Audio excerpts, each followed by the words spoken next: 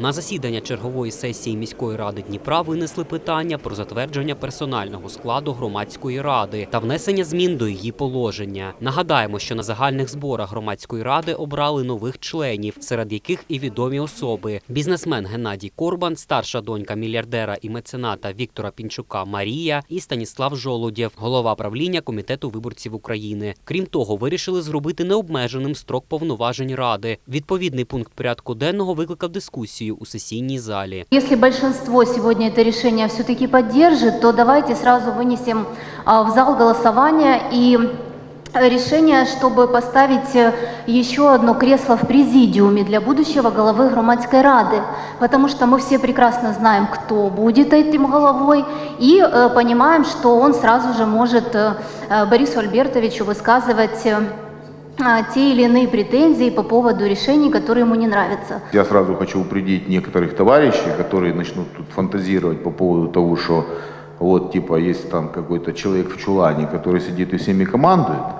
Но мы же тут все свои, родные, и журналисты родные, все. То есть главное, чтобы вы не нарвались ни на вопрос, а не были ли вы сами в этом кабинете. Строк повноважень громадської ради дійсно не обмежений. Це важливо, А от е, строк повноважень складу громадської ради должен бути обмежений.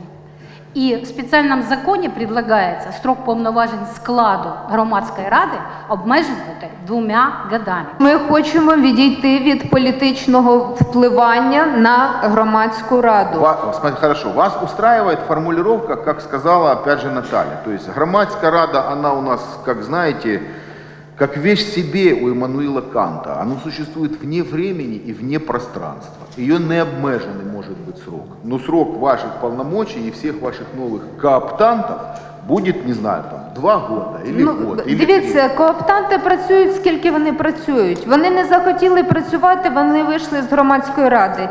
Зрештою, депутати підтримали пропозицію Наталії Начер'ян. Нових членів громадської ради затвердили. Строк повноважень складу обмежили до двох років. Інше питання, що його активно обговорювали народні обранці, стосується встановлення великих пластикових фігур задля безпеки руху пішоходів. Такі скульптури нібито мають привертати увагу водіїв біля переходів.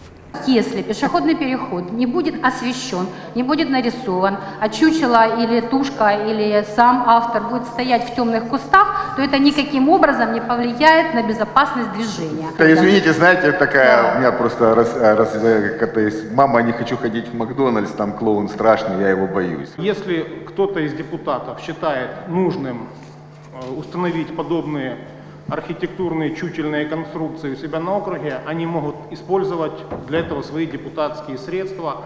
И я сразу говорю, что с ними будут. Эти чучела будут сразу поломаны, разрисованы, на них усы будут Я вчера услышал цифру полтора миллиона один светофор. За один миллион в этом году мы можем 50 переходов обустроить этими, значит, так называемыми вашими чучелами. Люди это просят, это не мое решение, я его не принес в зал, потому что мне приснилось. Группа э, наших э, разных всяких визионеров, Урбан Днепро, категорически против этого выступила. Поэтому, наверное, э, ну вот мое мнение какое, то есть давайте пусть это обсудят специалисты. И прав господин Миллер, который пишет из командировки в Израиль, что на это нет денег. И вы правы, и все правы. Я как уже стал как раввин в этом зале. Все правы. Поэтому каждый голосует, как Бог на душу положит.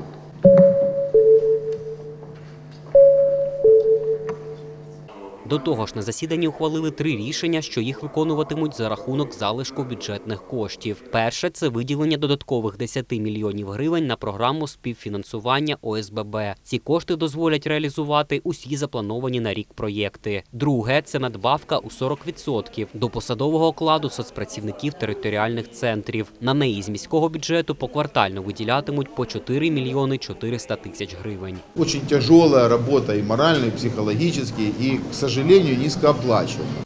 Ще одне фінансове питання стосується автономізації навчальних закладів. Відтепер школи безпосередньо отримуватимуть кошти на задоволення своїх матеріальних потреб. Усього передбачено 12,5 мільйонів. Если мы говорим о том, на что мы собираемся давать деньги непосредственно в школы, этот перечень насчитывает 93 позиции. Это дезинфикующие засоби, господарчий инвентарь, засоби для прибирания, господарчі товари, друковані товари, канцелярські товари.